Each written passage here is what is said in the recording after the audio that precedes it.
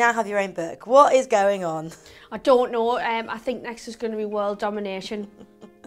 And I love the fact that you said bigger and better than the Bible. Did you like that? I love it. Right, so I was quite proud of myself because the whole book title I came up with in like about three minutes. I mean, I know it's a hard one, but you know how people are always like, like thinking about it for so long, like what could it be, what could it be? Just fits, doesn't it?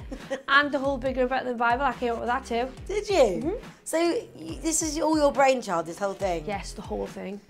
But there's a lot of it that was obviously I had a ghostwriter, Lucy Cave, and she was amazing. She like she, she had some really good ideas in the book, like the words of wisdom and stuff. But I like I'm quite proud to say that I wrote quite a bit of it too. Like all the words of wisdom I wrote myself, but I don't know how Lucy did it. I don't know how you actually can write a full book. I just think it's so incredible. Does it feel surreal looking at your face on paperback or hardback, whatever it is? I don't know. I don't. I don't ever feel that surreal feeling. Like obviously I had my face on a DVD too, didn't I? And it just feels like I'm looking at a picture of myself. and what? That's just the biggest selling DVD like ever. I know. I mean, you are absolutely dom- You are dominating the world. I hopefully my book will go that way too. Do you know what made us think of, right? Like mem- memories are good, right? But you can't can't remember them unless you actually sit down and have to sit hard and think about it. That's the only time you'll remember a memory, unless it's in a photograph that's on your wall and you see it all the time. So I'm actually quite glad I did it because I forgot about half of that stuff what's in the book, and now I'm remembering it and I'm remembering I've had some good times. Otherwise, if I didn't do the book, I would have just totally forgot about my past. It's making me want to write one, but I don't know who will read it. Have you got people that are out there quaking in their boots, worrying about reading this book? I don't think so, no. Does anyone come off pretty bad from it? Not really. I don't. I'm not really nasty about anyone to be honest. I don't tell gossip on anyone either. Probably Gary a little bit, but that's just expected. And I don't think he's worried because he knows he knows what I'm like. He knows he's going to get some grief in it. I opened the book and the first page I came to, the title was Parsnip, and I was like, poor Gary. He's got a full chapter of grief. Have you spoken to him about it at all? I know he just we, we talked about it when we were filming last series because we literally just got out of filming about two weeks ago, and he was like, um, "So how other than Charlotte do I get tortured?" out?" well, yeah, you know you do. And, oh, that's fine. and that was it. I love that he's so relaxed about it. Because he just knows it's been four years now. It's all I ever do when I talk about was grieving.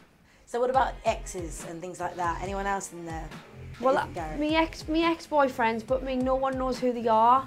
so like, I don't think anyone will be particularly that interested in them. It's when people people want to know about the people who they've watched. You know what I mean? So yeah, there's ex-boyfriends in there, but I like think people will find it funny, but I don't think anyone's going to like, oh my god. What surprises me is I, I'm quite a jealous person. I think people, new, new partners that you get um, that you're with, perhaps you're still with Mitch, I'm not sure what's going on. Yes, yes, we're still Um, together. did he ever get jealous reading stuff, seeing you on TV, looking back at past episodes? I don't think he, he never he never mentioned that he was jealous. That's the thing that Mitch is very weird. Like he doesn't he doesn't give a lot away, and he certainly won't read my book because he, he stays away from it. Like he won't put yourself in a situation where he's gonna feel like that. So like if Mitch was to do a book and he'd been on telly with some girl and, the, and I knew there was gonna be a big section of it, I wouldn't read that because I know what's gonna be there. Do you know what I mean? So I think he's quite sensible and mature in that way. He'll go to the sections that are about him and he'll skip everything else.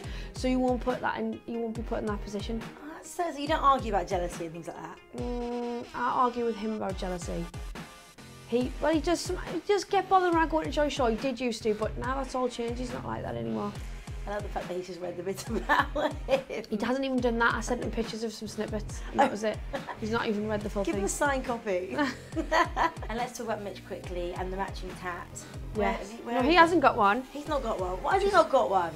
Well, it was just we didn't really plan to do it together. I got it randomly in Australia. Just randomly got it and surprised him with it. So it wasn't a thing where we're like, oh, you get one, I get one. I was a stupid person who just got one myself. Because Sheridan Smith just split up with her bloke and they got matching ones. Oh, see, but I would be glad if he had one too, because then if that ever happened, then he would be in regret like me. But I'm the only one who's got one. Tell but I'm reaction. I'll tell mine would, be from my mum if we ever split up.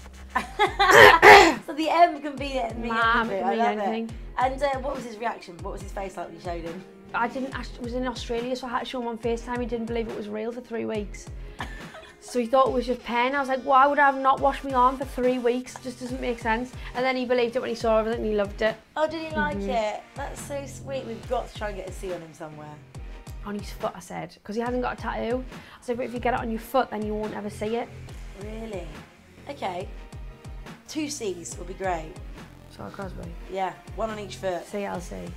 Love it. Thanks so much, Charlotte. Love the book. And Thank you. I'm sure it's going to be a massive, big your DVD. Thanks, darling. Fingers crossed.